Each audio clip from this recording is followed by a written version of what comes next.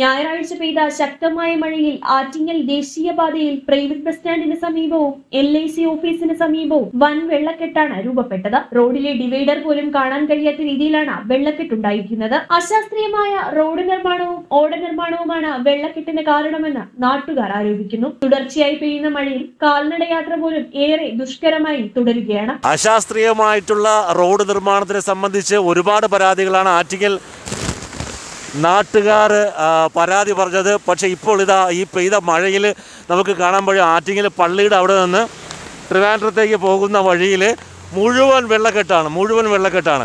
ഇത് കൃത്യമായിട്ടുള്ളൊരു ഓട നിർമ്മാണം ഇല്ലാത്തത് കൊണ്ടാണ് സംഭവിക്കുന്നത് എന്നുള്ള കാര്യത്തിൽ യാതൊരു സംശയവുമില്ല.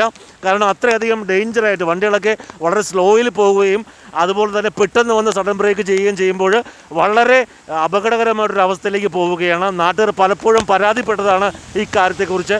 ഇന്ന് പെയ്ത ശക്തമായ മഴയിൽ ശക്തമായ വെള്ളക്കെട്ടാണ് ഇതുപോലെ ഓരോ സ്ഥലങ്ങളിലും ആറ്റിങ്ങലിൽ കാണാൻ കഴിയുന്നത്. ഓടകളിലൂടെ മഴവെള്ളം ഒഴുകി പോകാതെ റോഡിലൂടെ ഒഴുകുന്ന അവസ്ഥയാണ് റോഡിൽ നിന്നും വെള്ളം സമീപത്തെ കടകളിലേക്ക് കൂടെ കയറാൻ തുടങ്ങിയത് വ്യാപാരികളെയും വലച്ചിട്ടുണ്ട്. ആറ്റിങ്ങൽ പട്ടണത്തിൽ ആദ്യമായാണ് ഇത്ര ഭീകരമായ രീതിയിൽ ദേശീയപാതയിൽ വെള്ളക്കെട്ടുണ്ടായിരിക്കുന്നത്.